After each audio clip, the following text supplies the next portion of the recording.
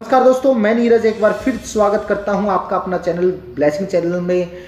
Verbal G K वी trick का ये इलेवन पार्ट है और यूजीसी नेट हिंदी के लिए सेकंड पार्ट है। विशेष क्या है यूजीसी नेट हिंदी के लिए ये वीडियो बनाई जा रही है। जैसे कि मैंने लास्ट वीडियो में बताया था कि ज़रूरी नहीं जो यूजीसी नेट हिंदी में पूछा जाए, वो दूसरे एग्ज़ाम में नहीं पूछे जा सकते। क्यों नहीं पूछे जा सकते? क्योंकि एक स्टैंडर्ड था यूजीसी नेट हिंदी के, जैसे कि एक बहुत ही पॉपुलर एक क्वेश्चन बार बार पूछा जाता है कि कबीर के गुरु कौन थे? तो पीछे की यदि आप छः महीने पहले एग्ज़ाम जो आप देख रहे हैं, कल रख के जो एग्ज़ाम देखा है, उसमें भी यही क्वेश्चन पूछा गया था कि कबीर के गुरु कौन थे? और पिछले साल के एसएससी का यदि एग्ज़ाम देखा जाए तो उसमें भी ये पूछा गया था कि कबीर के गुरु कौन हैं? तो मतलब क्या है कि तीनों का जो स्टैंडर्ड है, वो अलग अलग है। तीनों एग्ज़ाम का स्टैंडर्ड हरियाणा कलरक में भी और एसएससी में भी और यूजीसी नेट का तो ये है ही। तो मतलब क्या है? ज़रूरी नहीं कि जो एक एग्ज़ाम में पूछे जाते हैं, क्वेश्चन वो दूसरे एग्ज़ाम में नहीं पूछे जा सकते, पूछे जा सकते हैं। तो हम उस पर ब्लेम भी नहीं कर सकते। तो हम थोड़ा सा अच्छा और ध्यान से पढ़ लेते हैं। हाँ मैंने आपको बताया कि कबीर के गुरु कौन थे? रामानंद। मैंने लास्ट वीडियो में आपको याद करने का एक मेथड भी बताया था, यही सेम क्वेश्चन तो कबीर के गुरु कौन है? रामानंद, याद कैसे करें कि कभी राम बन के कभी श्याम बन के चले आना प्रभु जी चले आना। मतलब क्या है? कभी से हम कबीर ले, लेते हैं। कभी राम बन के मतलब रामा का मतलब रामानंद। फिर भी एक कन्फ्यूज़न आ सकती है कि रामानुजाचार्य भी तो एक संत हुए हैं। राम से यदि दो तीन संत और हुए तो हम फिर कन्फ्यूज़न हो सकते हैं। तो हम कैसे याद कर सकते हैं कि कभी राम बन के, कभी श्याम बन के, श्याम मतलब नंद, श्याम का मतलब नंद नंद गोपाल, हम क्या कहते हैं नंद गोपाल, श्याम मतलब नंद गोपाल। तो यहाँ से हम इसको कोड कर सकते हैं कि रामानंद, कबीर के गुरु कौन थे? रामानंद, प्रभु जी चले आना। अब हम आते हैं इस वीडियो में पहले क्वेश्चन पर। इस वीडियो की पहले क्वेश्चन पर कि तुलसीदास के गुरु कौन थे? तो हम ऑप्शन भी देख लेते हैं। रामानंद, हनुमत शास्त्री, नरहरियानंद, रामानुजाचार्य रामानुजाचार्य। तो जो कवि इसके तुलसीदास के जो गुरु थे, वो थे नर हरियानंद हमारा आंसर क्या है? नर हरियानंद तो हम याद कैसे करें? उस पर आ जाते हैं। दो दो तरीके से इसको हम याद कर सकते हैं वैसे।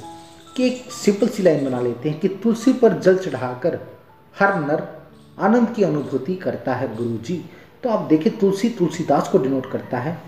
जल चढ़ाकर हर नर तो हर से हर हर, अब हर कहाँ पर है? नर हरियानंद तो हम देखें छंदी विषेद करें तो है और रे हर हरियानंद। तो ऊपर रे की मात्रा आप देखें हर बोल सकते हैं और नर स्टार्टिंग में है। तो हर नर, आनंद की और आनंद भी है, आप देखें तो छंदी विषेद करें तो हरियानंद। तो नर हर नर आनंद की अनुभूति करता है। गुरु जी हम मैंने लास्ट में इसलिए लगा दिया क्योंकि ये तुलसीदास की गुरु है। एक दूसरा मेथड भी हम अप्लाई कर सकते हैं। यहाँ पर हम तुलसीदास को पूरा ले लेते हैं कि तुलसी का दास बनकर, तुलसी का दास बनकर हर नर आनंद की अनुभूति करता है गुरु जी दोनों तरीके से हम इसको याद कर सकते हैं। मतलब अब सेकंड क्वेश्चन पर आ जाते हैं। कि पिंजरा कहानी किसके द्वारा लिखी गई है? यूजीसी नेट का स्टैंडर्ड है, आप याद रखना, अच्छे ध्यान से सुनना। या तो देखें वीडियो को, या आप बिल्कुल भी ना देखें, आधी अधूरी न देखें, क्योंकि कल ना आप कहो कि ये क्वेश्चन आया था, मुझे याद नहीं हुआ। एक बार ध्यान से देख लेते हैं बस। पिंजरा कहानी किसके द्वारा लिखी गई है? ऑप्शन देख लेते हैं उपेंद्र नाथ अश्क, लक्ष्मीकांत वर्मा, बाल कृष्ण भट्ट देवकी नंदन खत्री। तो ये जो लिखी गई थी उपेंद्र नाथ अश्क के द्वारा लिखी गई थी तो हम इसको याद कैसे करें? उस पर आ जाते हैं। एक छोटी सी लाइन बना लेते हैं। उप पिंजरे में, ऊपर के पिंजरे में, उप मतलब ऊपर ऊपर के पिंजरे में बंद, इंदर अश्क बहाने लगे। देखो ऊपर का कोई पिंजरा है, उसमें बंद, इंद्र, इंद्रदेव लगा लेते हैं इंद्रदेव अश्क बहाने लगे मतलब रोने लगे इस कहानी में। कहानी में मतलब मैंने क्यों जोड़ा है? क्योंकि पिंजरा एक कहानी है। उप पिंजरे में, ऊपर के पिंजरे में बंद इंद्रदेव अश्क बहाने लगे इस कहानी में। अब देखिए, यहाँ से हम ऊपर, या तो ऊप बोले या ऊपर तो उससे ऊप आ जाता है उपेंद्र नाथ में से। पिंजरा यहाँ कहानी है और उपेंद्र मतलब उपेंद्र मतलब यदि छंदी विच्छेद करते तो इंद्र। इंदर और अस्क बहाने लगे उपेंद्र नाथ अस्क तो यहाँ से हम इसको याद कर सकते हैं और कहानी कहानी को डिनोट करता है। इसके बाद आता है कि दिवाली और होली, कहानी के रचनाकार कौन है? तो ऑप्शन देख लेते हैं। प्रताप नारायण मिश्र, अमर सिंह राठौर इलाज चंद्र इलाज चंद्र जोशी, भारतेंदु हरिश्चंद्र। तो इसका जो आंसर है वो इलाज चंद्र है। तो मैंने जो पहली वीडियो में भी इनकी एक रचना थी, याद, यदि आपको याद हो तो तो वो क्या था? मुक्ति पथ। और मैंने कैसे याद करवाया था कि इलाज चंद्र, ये इसका जो आंसर था तो इलाज, चंद इलाज के बाद जोशी जी मुक्ति पथ पर नज़र आएँगे। जो मैंने एक पीछे की, इससे पहले जो वीडियो थी, उसमें एक आया था कि मुक्ति पथ किसके द्वारा लिखी गई है? और उसका आंसर था इलाज चंद्र द्वारा लिखी गई है, इलाज चंद्र जोशी द्वारा। और मैंने याद कैसे करवाया था कि चंद इलाज के बाद मधु चंद यहाँ से चंद ले लिया, इलाज का मतलब इलाज कि चंद इलाज के बाद जोशी जी मुक्ति पथ पर नज़र आएँगे। मतलब मुक्ति पथ किसने लिखी? इलाज चंद्र। और हमारा अब दोबारा एक क्वेश्चन आ गया कि दिवाली और होली कहानी के रचनाकार कौन है? तो हमारा आंसर है इलाज चंद्र। ये भी उन्होंने लिखा है। हम याद कैसे करें? इसको भी दो तरीके से हम याद कर सकते हैं कि चंद इलाज के बाद जोशी जी दिवाली और होली मनाने जाते हैं इस कहानी में। हम इसको ऐसे याद कर सकते हैं। चंद मतलब चंद्र, और इलाज मतलब इलाज इलाज चंद्र और जोशी। जोशी को डिनोट करता है और दिवाली और होली ये कहानी है। तो हम ऐसे भी कर सकते हैं कि वही चंद इलाज के बाद मुक्ति पथ पर नज़र आएँगे। जोशी जी, क्योंकि मुक्ति पथ भी याद करना है। मुक्ति पथ है। और नज़र आएँगे जोशी जी और वह दिवाली और होली मनाने जा सकते हैं। इस तरह कुछ करके भी हम इसको याद कर सकते हैं। दोनों रचनाएँ हमें याद हो जाएगी। उसके बाद आ जाता है कि मर्किल के रचनाकार कौन है? मर्किल के रचनाकार कौन है? ऑप्शन देख लेते हैं। किशोरी लाल गोस्वामी, प्रेमचंद यशपाल उपेंद्र नाथ अश्क। तो इसका जो आंसर है वो रहेगा यशपाल। हम याद कैसे करें, उस पर आ जाते हैं। वैसे हाँ चलो ठीक है, कि हम एक सिंपल सी लाइन बना लेते हैं कि वह यश पाकर मर गया किल लगने से। तो मतलब क्या है? वह यश मतलब वैभव जो है, कि वह यश पाकर, यश यहाँ यशपाल को डिनोट करता है, यशपाल। और मर गया मतलब मरकिल मर मरकिल में मर आता है, देखो। मर और किल, मर और किल। संधि विषेद करते हैं तो मर, किल। तो मतलब क्या है? मर गया, किल लगने से। वह यश पाकर मर गया, किल लगने से। मतलब यश यहाँ यशपाल को डिनोट करता है। उसके बाद आता है कि दो बांके के रचनाकार कौन है? दो बांके। तो ऑप्शन देख लेते हैं। भगवती चरण वर्मा, हरिवंश राय बच्चन राधा कृष्ण दास निराला जी। तो इसका जो ऑप्शन है, वो है भगवती चरण वर्मा।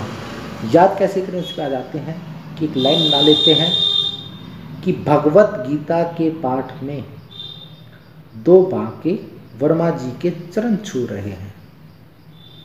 भगवत गीता के पाठ में दो बाके वर्मा जी के चरण छू रहे हैं। मतलब क्या कि भगवत यहाँ भगवती को डिनोट करता है और के पाठ में दो बाकी दो बाकी इनकी रचना है।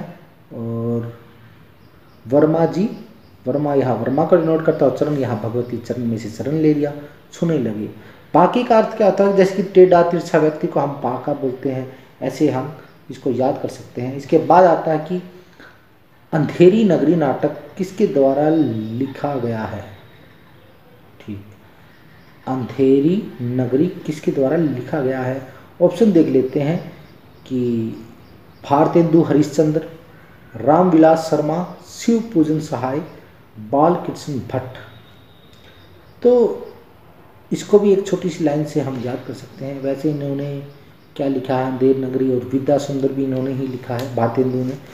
तो एक छोटी सी लाइन से याद करते हैं कि भारत के तेंदु तेंदु मतलब तेंदुआ लगा लेते हैं कि भारत के तेंदु या तेंदुआ इस अंधेर नगरी में चंद्र रोशनी में भी देख ले हाँ।